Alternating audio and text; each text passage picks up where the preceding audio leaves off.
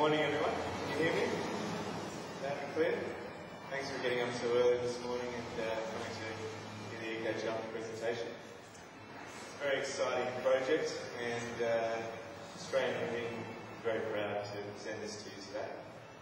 Amongst uh, our guest speakers we have Caroline Pitcock uh, from Pitcock Architecture, we have Graham Hunt, Thermal Comfort Assessor, we also have uh, a special guest, Brad Silva, who's going to talk about uh, condensation risk, and Jordan Vergara from Patio Design.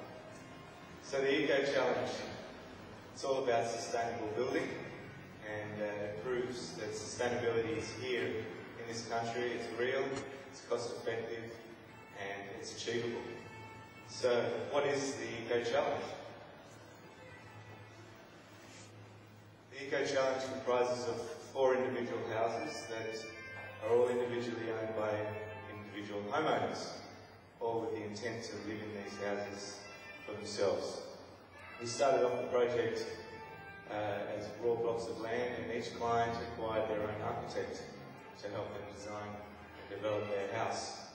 As a project manager, I was engaged to build all four houses and subsequently I saw the the opportunity to build a house for tomorrow, today, for these people, such that they will enjoy the rewards of building sustainably. They look like traditional houses, but really behind the scenes, they're not. So what is, uh, what's the point of difference? The point of difference is that firstly we have uh, houses that are designed to be energy efficient, uh, and they also comprise of materials that are environmentally friendly and, and conscious, not only as a product, but also going behind the scenes, looking at the cradle to gate uh, product activity line. Today we're going to talk about uh, one in particular house. Uh, this house has probably the most mixed product use on the, uh, out of all four of the houses. And uh, it also achieves the highest thermal comfort rating, uh, an 8-star equivalent rating. Now, Australian Living has a philosophy um, for sustainable building, and it starts with designing with the end in mind. Now, what does that mean? Designing with the end in mind means starting with what you want to set out to achieve, i.e. an energy efficient house. So, as a part of our strategy and dealing with our clients, we've set out to try and build their awareness of what sustainable building is and what the opportunities are and get them confident enough to proceed with their architects with that type of approach. Once we've uh, established a design concept, we then use the services of Graham Hunt to analyse and I guess uh, prove that the concepts actually work and are achievable in the thermal comfort rating. And through that process, we were able to analyse the individual spaces within the house, find the inefficiencies of, of those spaces, and then design a lifestyle environment that will achieve the highest thermal comfort rating.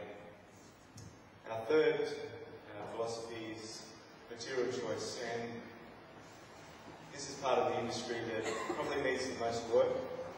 Designing to a high thermal comfort is quite achievable, but to actually use products that can achieve that not only at the thermal comfort rating, but also as a environmentally conscious building is, is quite difficult. And we've used the, uh, the rating systems from Green Building Council of Australia, which is a commercial-based rating system, to help us choose our product choice. We've also used um, products from GECA, and uh, from those rating systems, understood how they achieve rating a product, and we've then been able to apply that to products that aren't rated. So we've been able to assess ourselves how good a product actually is, and also how good the company is behind that product.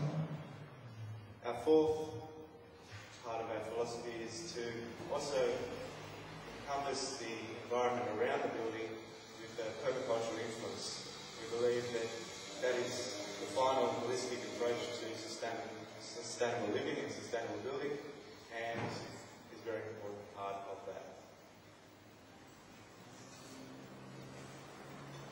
Today I'd like to uh, start proceedings with Caroline, and uh, she will go into the designing with uh, the end in mind approach.